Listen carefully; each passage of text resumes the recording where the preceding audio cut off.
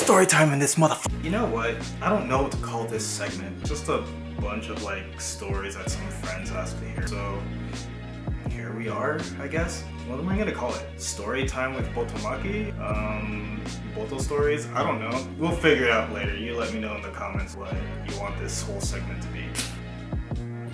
Anyway, while in college, I used to work at the local bookstore on campus. I was also quite the looker. I think so. College Brad was a lot cooler than current Brad. Used to do like some modeling for the store, did some random photo shoots or whatever. People said that I dressed like I was like just constantly going to the club. I also tried emulating like this whole anime character kind of persona. I'd walk around with my art bag or something like that, like popped over my shoulder and just kind of go down campus looking like a cool guy. Oh, I was pretty styling back then, as surprising as that may be. I actually had a group of women and a couple of dudes kind of like jocking me for a while, which was kind of interesting. Another story for later. Anyway, one day I was walking from class to go to work. On the way from the art building to where I worked at, there was like this little roundabout where you just drop people off and this one guy, he just looked like one of those like rich dudes from like LA or something like that. He was all decked out with chains, jewelry, shirt with like his chest hair popping out. He had like this obnoxiously expensive convertible. It was like probably the newest Porsche at the time. Anyway, as I'm walking towards work and then I just happen to pass this guy's car, I'm looking at his car like, oh, that, that's kind of a dope car. And he sees me looking at his car and he weighs me down and he's like, hey, hey, uh, you, you with the art bag, uh, do you know where so-and-so building is at? As I'm explaining, he's like, oh yeah, yeah, yeah, that's cool, thanks, thanks.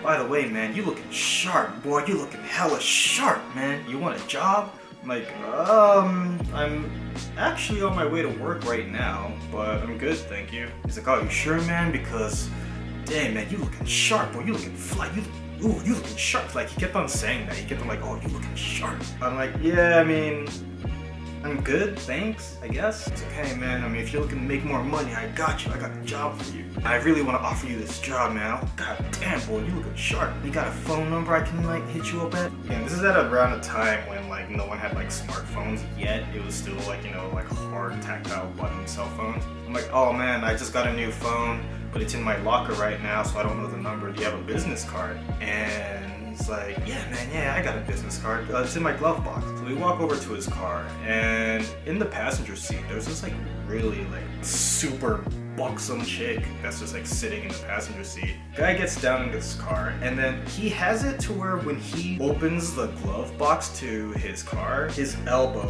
is like just pushing his passenger's boobs up higher to where like when he opens it, like it pushes it and then the boobs are just more exposed than they already are. As the glove box opens, all these rolls of money, just like 50s, 100s, whatever, just spill out of the glove box. He's over here digging and pushing all this. Stuff. Like, oh man, you know, got a lot of paper here, man. Just pushing all this paper. Let me get you, let me get you that card though. Finally gets the business card, hands it to me, and yeah, man, like, I mean, if you're looking for a new job, man, just hit me up. That number right there, that's my direct line. The other number there is to my secretary right here. But, man, just hit me up. Man, God damn, boy, you looking sharp. Ooh, boy, you looking sharp. So I'm like, yeah, um, awesome, thanks.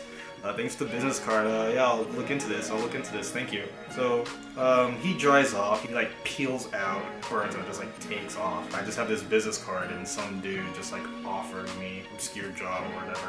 Um, I never found out what that job was.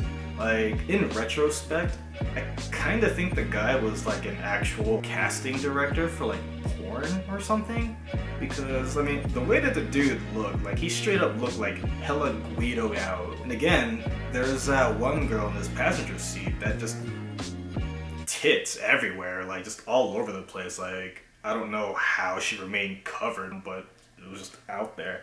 Yeah, I really think that guy actually worked for porn. Like, I seriously do. The fact that he was dressed like that, the female in his car was also dressed as she was, and he kept on like, oh, you looking sharp, boy, mm, you looking sharp, like made it real uncomfortable. I'm pretty sure that he was like a casting director for porn. Anyway, that's my story for today. If you want to hear more stories like this, or just any random story that happened to me, then let me know in the comments down below. Be sure to like, subscribe, and all that other jazz, and we will see you in the next one. Deuces.